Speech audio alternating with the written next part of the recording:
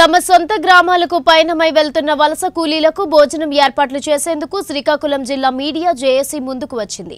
ఇతర రాష్ట్రాల నుంచి శ్రీకాకుళం జిల్లా మీదుగా జాతీయ రహదారిపై వెళ్తున్న అనేక మంది వలస కూలీలకు చేస్తున్నటువంటి కార్యక్రమాలపై పూర్తి సమాచారం మా ప్రతినిధి రాంబాబు అందిస్తారు. కరోనా నేపథ్యంలో ఈ వలస కూలీలు ఎక్కడైతే ఉండిపోయి ఉన్నారో అటువంటి వాళ్ళని సొంత గ్రామాలకు అదేవిధంగా సొంత రాష్ట్రాలకు తరలించే నేపథ్యంలో వస్తున్నటువంటి వారికి ఆహార పంపిణీ విషయంలో అయితే జర్నలిస్ట్ ఐక్యవేద సంఘంలో అయితే శ్రీకాకుళం జిల్లాలో జరుగుతుంది. ఈ నేపథ్యంలో జర్నలిస్ట్ శ్రీకాకుళం జిల్లాకు సంబంధించినటువంటి ప్రెస్ క్లబ్ అధ్యక్షులు ఉన్నారు మనతో. అసలు ఈ కార్యక్రమం ఎందుకు చేస్తున్నారు? అసలు ఏ ఏ ఏ ఆధ్వర్యంలో చేస్తున్నారు అనే విషయం తెలిసి తెలుసు తెలుసుకుందాం. సార్ చెప్పండి సార్ ఇప్పుడు ఉన్నటువంటి ఇతర రాష్ట్రాల నుంచి వస్తున్నటువంటి ఈ వలస కూలీలకు ఏ విధమైనటువంటి ఏర్పాట్లు చేస్తున్నారు? శ్రీకాకుళం జిల్లాలో ఎప్పటి నుంచి చేస్తున్నారు మన ఈ జర్నలిస్టుల ఐక్యవేదిక ద్వారా? దేశంలో నూట ముప్పై కోట్లకు పైగా జనాభా ఉంటే దాదాపు వలస వెళ్ళి వస్తున్న వారి సంఖ్య యాభై కోట్ల వరకు ఉంటుంది. ఈరోజు కోవిడ్ నైన్టీన్ వ్యాపించకుండా ఈ కరోనా వైరస్ విజృంభించకుండా ఉండేందుకు కేంద్ర రాష్ట్ర ప్రభుత్వాలు కొన్ని చర్యలు తీసుకుని ఉండొచ్చు. కాకపోతే బిగినింగ్లో కొన్ని ప్రభుత్వాల వైఫల్యాలు కూడా ఉన్నాయని మనం భావించగలం. ఎందుకంటే లాక్డౌన్ ప్రకటించిన సమయంలో ఎక్కడ వారు అక్కడ చిక్కున్నారు వారికి తిండి లేదు ఉపాధి లేదు ఉద్యోగం లేదు.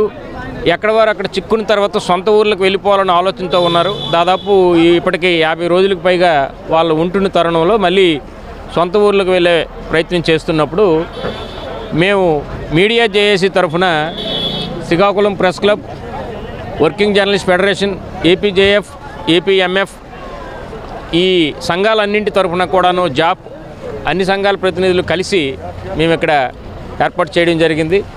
మా జర్నలిస్ట్ మిత్రుడు కూర్మారావు ఈరోజు ఈ కార్యక్రమానికి స్పాన్సర్ చేస్తున్నారు.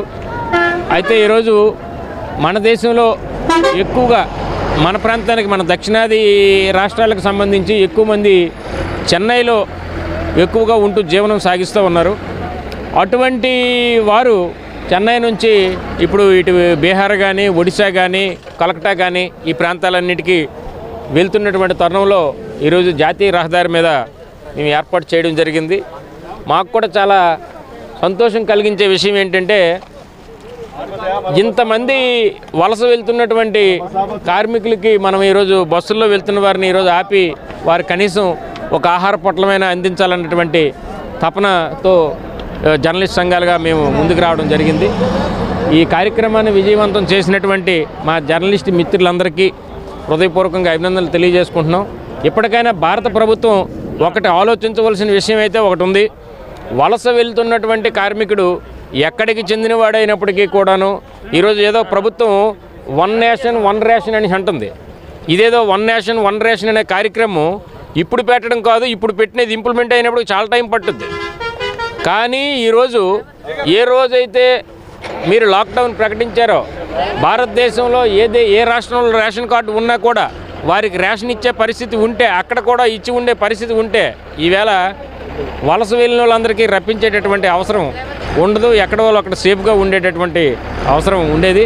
ఎప్పటికైనా ప్రభుత్వం చేయాల్సిన పరిస్థితి ఏంటంటే కుటీర పరిశ్రమల్ని ప్రోత్సహించి ఈరోజు ఉపాధి హామీ పథకం ఎలాగైతే అమలు చేస్తుందో మరొక వైపు కుటీర పరిశ్రమలు ప్రోత్సహించి ఏ ప్రాంతంలో ఉండేవారు ఆ ప్రాంతంలో జీవనం సాగించేటటువంటి పరిస్థితుల్ని ఏర్పాటు చేయాల్సినటువంటి బాధ్యత ఉందని భావిస్తూ ఉన్నాం. ఏదేమైనప్పటికీ కూడా శ్రీకాకుళం జిల్లాలో ఈ జర్నలిస్టుల ఐక్య వేదిక ఏదైతే ఉందో ఈ ఐక్య వేదికలో భాగంగా ఈ ఈ సందర్భంగా అయితే ఈ వలస కూలీలకి అందరికీ కూడా నిత్య ఈ భోజన సౌకర్యాలు కల్పిస్తామంటున్నారు. ఎక్కడ ఉన్నటువంటి వాళ్ళకి అక్కడ ఈ ఏదైతే రాష్ట్ర ప్రభుత్వ వాళ్ళ వాళ్ళకి ఈ సౌకర్యాలు కల్పించి ఇబ్బంది లేకుండా ఉండేదని అయితే భావిస్తున్నారు. ఈ నేపథ్యంలో శ్రీకాకుళం జిల్లాకు సంబంధించినటువంటి కొంతమంది జర్నలిస్టుల ఆధ్వర్యంలో ఈ కార్యక్రమాన్ని చేయడం చాలా సంతోషంగా ఉందని వ్యక్తం చేస్తున్నారు. ఇక్కడ ఉన్న తాజా పరిస్థితి కెమెరామెన్ కృష్ణతో రాంబాబు నైన్టీన్ శ్రీకాకుళం.